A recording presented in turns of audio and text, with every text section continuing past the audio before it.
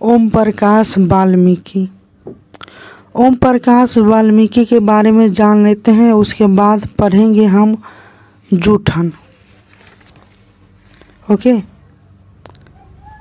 तो ओम प्रकाश वाल्मीकि का जन्म 30 जून 1950 को हुआ था।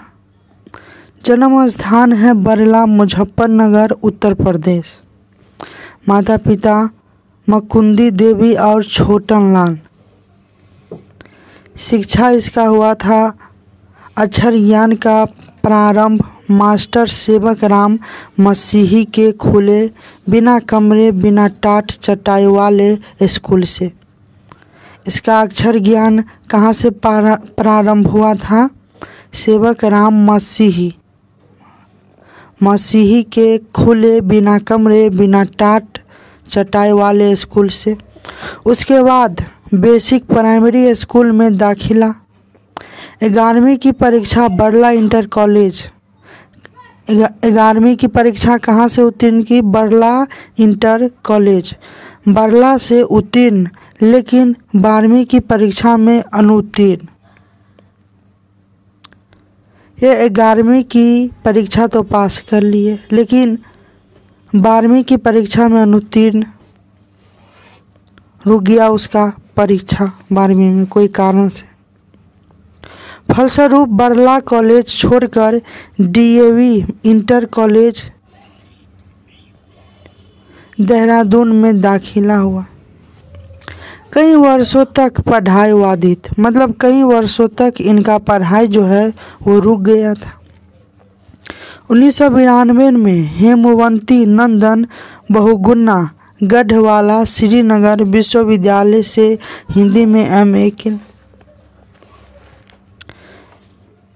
वृत्ति है। इसका बारहवीं कक्षा में ही ऑर्डिनेंस फैक्ट्री देहरादून में अप्रेंटिस की नौकरी, फिर ऑर्डिनेंस फैक्ट्री चांदा, चंद्रपुर महाराष्ट्र में ड्रॉप्टमैन की नौकरी।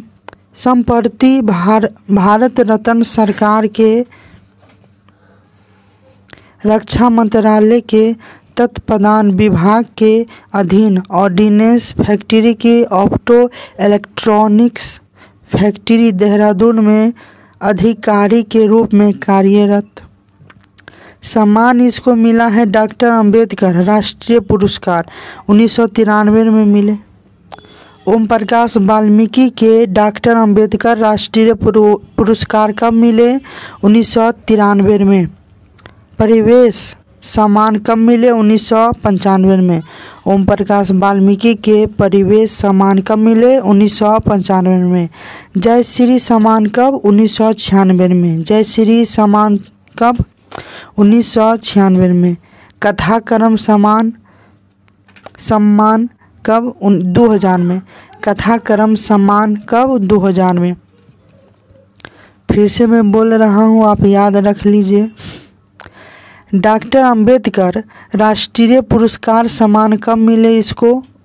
उन्नीस सौ तिरानवे में वाल्मी ओम प्रकाश वाल्मीकि को। परिवेश सम्मान कब मिले? उन्नीस सौ पंचानवे में। जय श्री सम्मान कब मिले? उन्नीस सौ छियानवे में। कथाक्रम सम्मान कब मिले? 2000 में। कृतियाँ हैं इनका।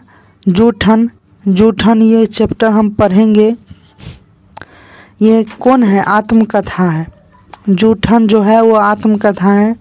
सलाम घुसपैठिए। सलाम घुसपैठिए कहानी संग्रह है। सदियों का संताप वश। बहुत हो चुका, अब और नहीं।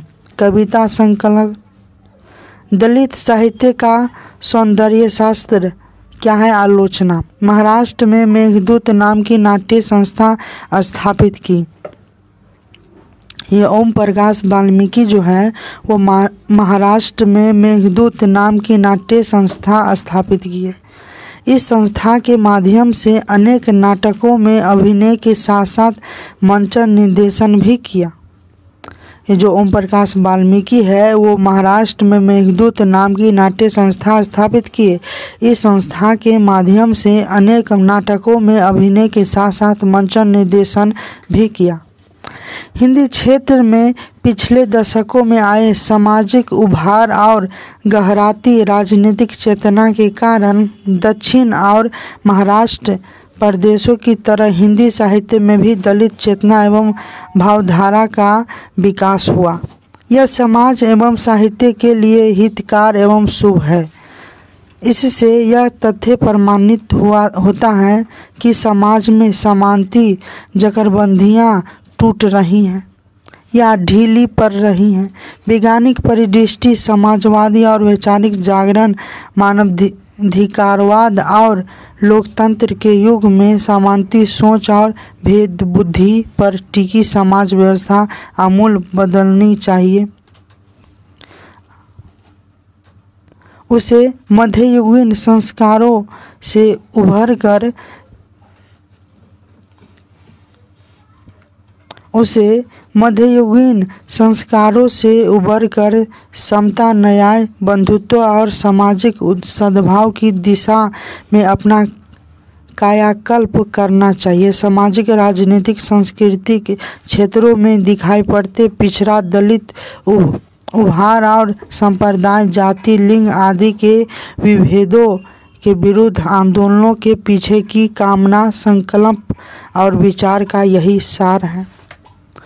ओम प्रकाश वाल्मीकि हिंदी में दलित आंदोलन से जुड़े महत्वपूर्ण रचनाकार हैं। उनके साहित्य में महज आक्रोश और प्रतिक्रिया से परे समता, न्याय और मानवीयता पर टिकी एक नई पुरंतर सामाजिक चेतना और संस्कृति बोध की आहट है। वे सिर्फ़ किन्हीं विचारधाराओं के संसर्ग और ताप पर निर्भर समीकरणों और फॉर्मूलों के सहारे नहीं लिखते। उनके लेखन में उनके अपने जीवनानुभवों की सच्चाई और वास्तव बोध से उपजी जीव, नवीन रचना संस्कृति की अभिव्यक्ति होती हैं। दलित जीवन के रोष और आक्रोश को वे अपने संवेदनात्मक रचनानुभवों की भट्टी में गलाकर रचना की एक नई इबारत पेश करते हैं, जिसका परि परिप्रेक्ष्य व्यापक अर्थों में मानवीय है। ओम प्रकाश वाल्मीकि की आत्मकथा जूठन ने व्यापक पाठक वर्ग का ध्यान आकृष्ट किया था। उनकी आत्मकथा का यह प्रस्तुत संकलित अंश बनगी के रूप में है। इस अंश में संपूर्ण आत्मकथा पढ़ने की प्रेरणा जाग जगती है। आत्मकथा और उसका यह संकलित अंश अंतिरंजित और वास्तविक हैं। वास्तविकता का माटी और पानी सरीखा रंग की इसके रचनात्मक गद्य की विशेषता है। अपनी संवेदना और मर्म स्पर्शिता के कारण प्रस्तुत अंश मन पर गहरा असर छोड़ता है। तो दोस्तों, हम पढ़ेंगे रोज। रोज ये है आत्मकथा। रोज जो है ये आत्मकथा है, उसी को हम पढ़ेंगे अगले एपिसोड